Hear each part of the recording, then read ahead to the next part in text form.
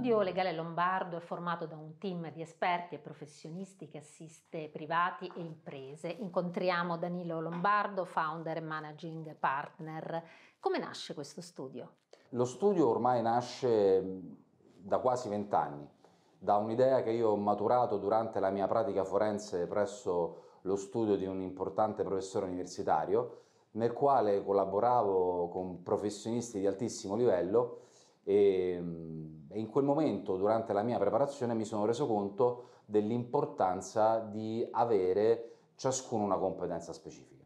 Così, intorno a questa idea, intorno alla volontà di dare un servizio altamente specializzato, anche se nel nostro ambito non si può parlare ancora di specializzazioni, ho cercato nella mia carriera di replicare un tipo di studio che avesse queste caratteristiche, cioè che riunisse mh, sotto la stessa etichetta più professionisti, ciascuno altamente competente e ciascuno con una competenza verticale in una determinata materia. Così oggi ci troviamo all'incirca in 10 e anche più avvocati, ognuno con una competenza specifica, chi competenza verticale in diritto bancario, chi competenza in diritto del lavoro, chi in successioni e chi in responsabilità medica. A proposito di materie, in questo momento quali sono quelle più richieste dal mercato? Questo mm, sicuramente è un aspetto fondamentale. Noi ci siamo sempre occupati fin dalla nascita di diritto del lavoro perché, come è facile immaginare, il diritto del lavoro è la materia che subisce costanti cambiamenti con l'avvicendarsi dei diversi governi.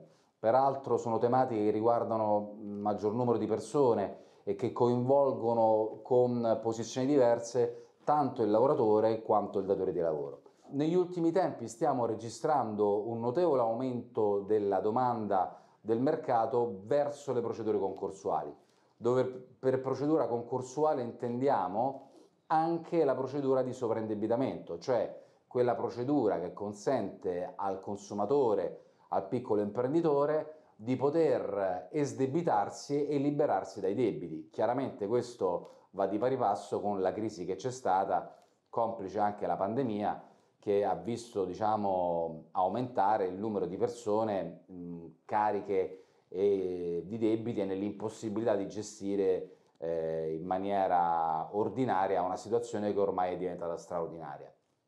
A proposito di diritto del lavoro, entriamo nel vivo di un tema di grande attualità, la sentenza della Corte Costituzionale che sembra aver confermato la validità della norma sull'obbligo vaccinale per il Covid-19 adottata durante la pandemia. Qual è stato l'indirizzo di scelta della consulta? L'indirizzo di scelta sembra senz'altro quello di confermare la legittimità dell'operato del governo.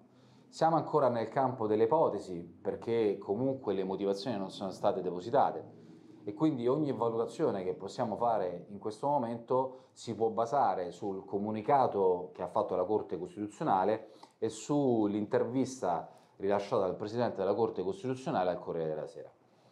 Da questi elementi possiamo sicuramente dedurre che la Corte Costituzionale ha ritenuto non sproporzionate e non irragionevoli le scelte del legislatore di introdurre l'obbligo vaccinale e sembrerebbe riferirsi tanto all'obbligo vaccinale introdotto subito nella fase iniziale per il personale sanitario, quanto all'obbligo vaccinale poi successivamente esteso in generale anche agli over 50. Questa conclusione, usiamo sempre il condizionale perché in questo momento è d'obbligo, sembrerebbe mh, pervenuta alla Corte Costituzionale sulla base di un contemperamento di interessi.